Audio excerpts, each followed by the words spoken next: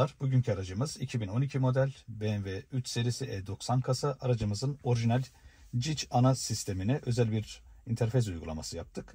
Aracın orijinal ekranına dokunmuyoruz. Alttaki CD radyonun arkasındaki konnektör yapısına soketi soketine bir parça takıyoruz. Bu parçamızın adı interfez. Interfezi de torpidonun iç kısmına gizliyoruz. Bir USB portu çekiyoruz. USB portunu da kolçağın içerisindeki ilgili kısma bırakmış oluyoruz. Yaptığımız dokunuş bundan ibaret. Sistem nasıl çalışıyor ondan bahsedelim. Cihazımızın araç içerisindeki Bluetooth altyapısı için ilgili kısma mikrofonu çekiyoruz. Sonrasında aracın kendi orijinal ana multimedya sisteminde AUX yapısını seçiyoruz. Menü tuşunu 2 saniye kadar basılı tutuyorum. Joystick tarafından bizim sistemin arayüzüne geçmiş oluyor. Bu sistem arayüzünün kontrolü tamamıyla joystick yapısı üzerinden çalışıyor ve direksiyon kontrolleri de çalışıyor. Birazdan video içerisinde göstereceğim. Kazandırdığı özellikler sırasıyla kablosuz CarPlay, kablosuz Android Auto, Apple'dan ekran yansıtma kablosuz, Android'den ekran yansıtma biraz önce kolçak içerisindeki USB üzerinden oluyor kablo ile. Yine aynı USB port üzerinden videolar ya da müzikler açabiliyoruz. Harici bir HDMI kaynağından bu Android Box ya da Apple TV olabilir. işlem yapılabilir. Bu araçta uygulamadık. Ön kamera takılabilir. Bu araçta uygulamadık. Geri görüş kamerasıyla montaj tamamlanmış oldu. Geri vites kamerası da bu şekilde otomatik çalışıyor. Aracın varsa park sensörü diyaframları da çalışır. Birazdan yine detaylarını göstereceğim. Boş da ileri vites alıyoruz. Devreden çıkmış oluyor. İlgili ikona dokunduğumuz zaman kendi arayüzüne dönüyor aracın. Menü tuşuna basılı tuttuğumuz zaman otomatik bizim arayüze geçmiş oluyor. CarPlay'den birkaç örnek yaparak direksiyon kontrollerini gösterelim. CarPlay arayüzü Spotify'dan bir müzik açalım. Direksiyon kumanda kontrolleri ses açma, ses kısma, şarkı ileri geri tuşları sorunsuz çalışıyor.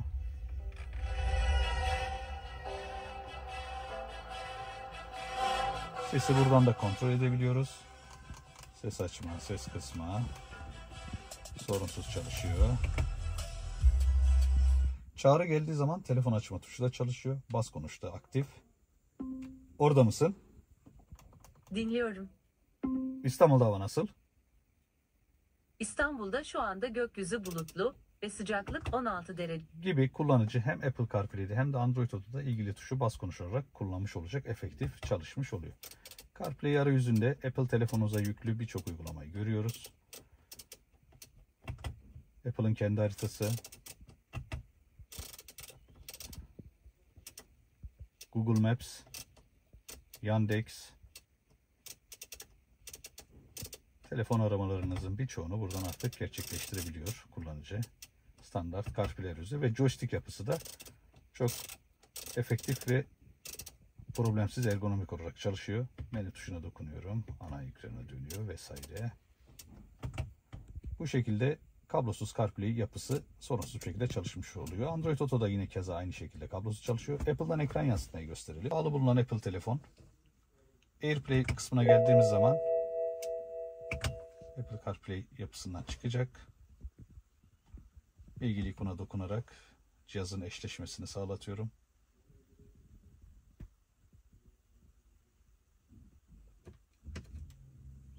Cihaz eşleşti. ekran yansıtmaya izin veren birçok uygulamayı buradan açabiliyoruz. En iyi örnek YouTube. Şöyle sesini kısalım, telif olmasın.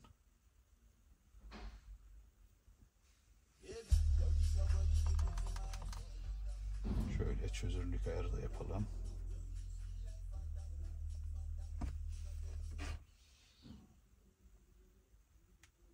Gelişmişlerden telefona çözünürlüğü de ayarlayabiliyoruz. Bu şekilde telefondan ekran yansıtmaya da izin vermiş oluyor uygulama. Çıkalım. Tekrar çıkmak için ilgili kaydırıyoruz. Yine aşağı doğru ekran yansıtmayı durdur diyoruz. Ekrana döndü. Bir kere OK tuşuna basıyoruz. Apple CarPlay kendisi otomatik geçmiş olacak. Saniyeler içerisinde ekranda gördüğünüz gibi otomatikte geçmiş oldu. Bu şekilde ekran yansıtma kısmı çalışmış oluyor. USB portları üzerinden videolar ya da müzikler açabiliyoruz demiştik. Biraz önce gösterdiğim kolçak içerisindeki USB portta şu anda flash bellek takılı. Buradan videolarımızı açabiliyoruz. Geçişleri yapabiliyoruz. Joystick yine burada efektif çalışıyor. Geri şu ilgili return'e döndüğümüz zaman seçimlerimizi yapıyoruz. Şu sağdaki 3 noktaya geçtiğimiz zaman eğer e, flash bellekte varsa müzikler audio çıkıyor seçiyoruz. Müziklerimizi yine 3 noktaya gelip ilgili konuda dokunarak videoları seçiyoruz. Buradan da klasörlerimizi seçip videolarımızı ya da müziklerimizi sorunsuz bir şekilde açmış oluyoruz.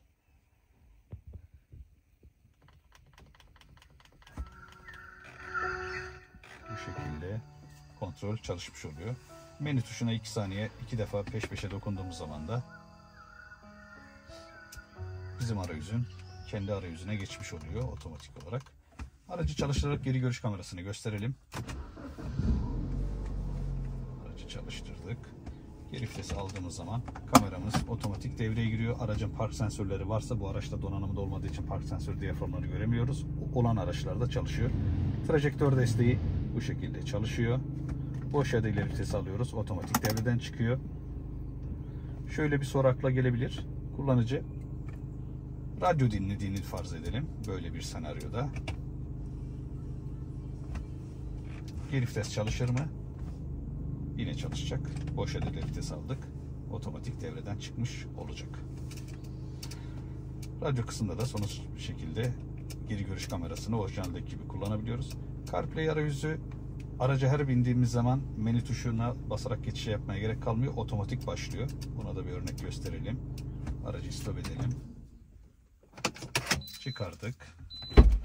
Aracı açtık. Araçtan ayrıldığımızı düşünelim. Belli bir süre sonra hem Wi-Fi hem de Bluetooth'tan kopacak. Apple CarPlay ve Android Auto kablosuz yapısı Wi-Fi üzerinden çalışıyor. Şu anda koptu sistem. Tekrar aradığımızı açtığımızı düşünelim. Araca bindik. Kontak hareketi. Hiçbir şey yapmamıza gerek yok. Otomatik CarPlay arayüzünden başlayacak. Doğal olarak ama sistemi bak şu anda otomatik geçtiği gibi CarPlay arayüzünden başlıyor. Kullanıcılara tavsiyemiz AUX ses yapısı AUX üzerinden çalıştığı için yani burayı AUX'ta tutup herhangi bir radyo uygulamasına geçmediği sürece problem yaşamazsınız. Otomatik aracı her bindiğiniz zaman CarPlay arayüzünden başlamış oluyor. Eğer radyoyu illa kullanmak istiyorsanız telefonunuza şöyle Karnaval.com gibi ekranda gördüğünüz gibi bir app uygulaması kurup buradan da radyolarınızı kullanabilirsiniz. Şu anda tekrar gelen tam ekran gelmişken kesintiye uğrattım. Gelelim.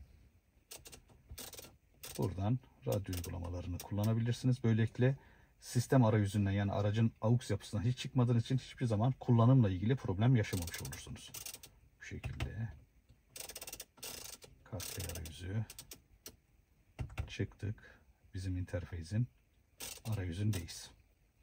Aracımız 2012 model BMW E90 haberleşme sistemi CIC altyapısında olan bu araçların aynı yapısında 2006'dan itibaren başlayıp CCC altyapısında olan araçlar da var.